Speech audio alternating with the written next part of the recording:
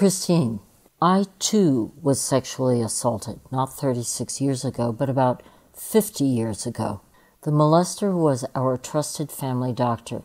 He was the very doctor who delivered me on August 20th, 1946. I'm 72 now.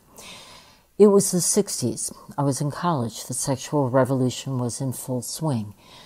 The exact date and year are fuzzy, but details of the event are vivid, seared in my memory.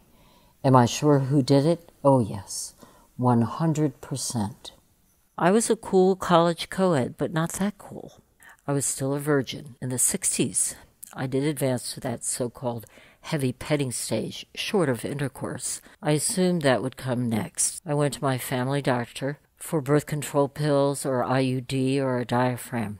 His office was in his home, a classic Georgetown 19th century house, creaky wooden floors with worn velvet furniture. His office was to the left of the front door through double doors. It was a large divided room, divided by a curtain he could draw. He drew the curtain, asking me to remove my clothes below the waist. Here I was in my twenties. I had never, ever had a gynecological examination. I had never even seen exam stirrups before. It was really odd to spread my legs and dig my heels into those cold iron stirrups. While I stared at the ceiling, his right index fingers massaged my clitoris. With his right middle finger inserted in my vagina, he moved both fingers rhythmically. He coached me verbally in a soft voice. Just breathe. Ah. Mimicking the sound of soft breathing. You're doing fine, he assured me. Suddenly, to my shock, I had an orgasm for the first time in my life. My body jerked several times. Then he leaned over, kissed me, a peck on my lips and slipped behind the curtain to his office area. I don't remember saying anything. I couldn't even look at him. I quickly got dressed and drove home. At the time, I think I had, I may have told one of my sisters. I I certainly didn't tell my parents. Good heavens, no. I was actually embarrassed about my sexual naivete.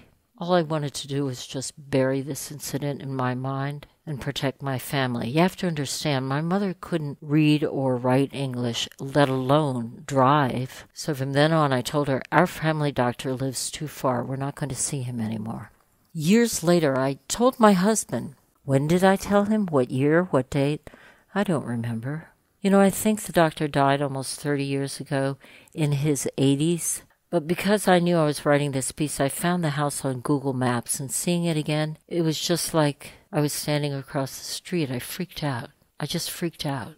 Christine, I too am terrified as I reveal this publicly. I can't sleep. I can't eat. Can you? If you can't, I understand. I'm really I'm really scared. I'm I'm frightened. I can't even cry. Will my legacy as a television journalist for 30 plus years be relegated to just a footnote? Will she too be etched on my tombstone instead? I don't want to tell the truth. I must tell the truth.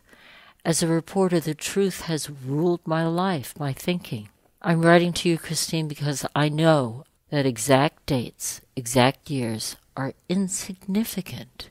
We remember exactly what happened to us and who did it to us. We remember the truth forever. Bravo, Christine, for telling the truth.